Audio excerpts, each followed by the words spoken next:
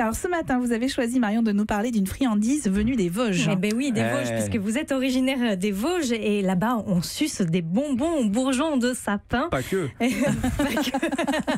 Alors, ce sont des bonbons de couleur ambrée qui sentent bon la forêt, vous l'imaginez bien. Bonjour Jean-Marie Claude Pierre. Oui, bonjour. Bonjour Jean-Marie. Vous êtes le fondateur de la confiserie des Hauts-de-Vosges. Depuis plus de 30 ans, vous fabriquez artisanalement et en famille ces bonbons en bourgeons de sapin des Vosges. Et il faut que vous nous expliquiez, Jean-Marie, il y a des morceaux de sympa dans vos bonbons en fait. Oui, bien en fait, euh, le bonbon bourgeon de sapin des Vosges, c'est un bonbon traditionnellement assez ancien, qui est fabriqué avec de l'huile essentielle de sapin, qui nous vient bien sûr des Vosges, puisqu'il est fabriqué à Gérardmer Et comment? Par la femme du bien-être. Et ce bonbon-là, eh bien, on peut le manger à tout moment. euh, il est il est bienfaisant pour, euh, enfin, on va pas en parler, il est, bienfaisant pour les bronches, euh, pour la gorge et tout ça, mais bon, c'est pas un médicament, ça reste un bonbon quand même. hein. Ben oui. Et vous, vous faites une recette, euh, c'est une recette très ancienne que vous, que vous utilisez tous les jours. Oui, exactement. C'est-à-dire que nous avons racheté la confiserie des images d'Épinal qui existait depuis 1952. On l'a racheté donc en 1985 pour fabriquer donc euh, nos fameux bonbons des Vosges qui aujourd'hui a un grand succès.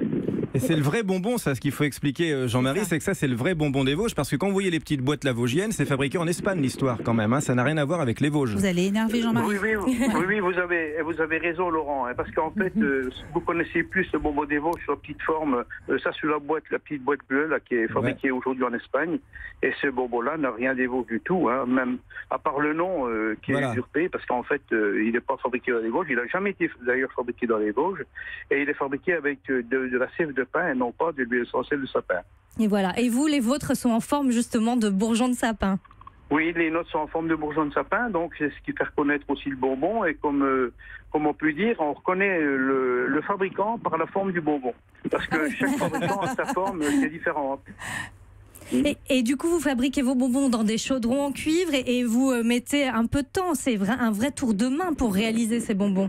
Oui, exactement. Fabrique encore comme autrefois, comme c'était au siècle dernier, même, euh, même au, dé- au départ donc, de la fabrication des bonbons, dans des chaudrons en cuivre et, et à feu nu. Ce qui fait qu'on a un bonbon qui ne collera ni aux vraies dents ni aux fausses dents, et un bonbon qui va se conserver très longtemps. C'était une précision extrêmement importante. Le bonbon qui ne colle pas ni aux vraies dents ni aux fausses dents.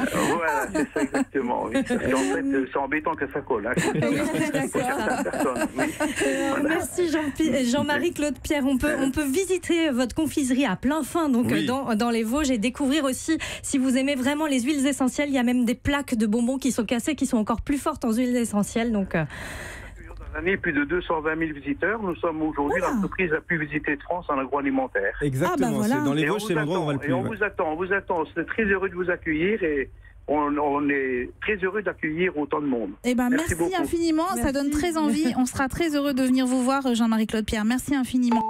Europe Europe 1.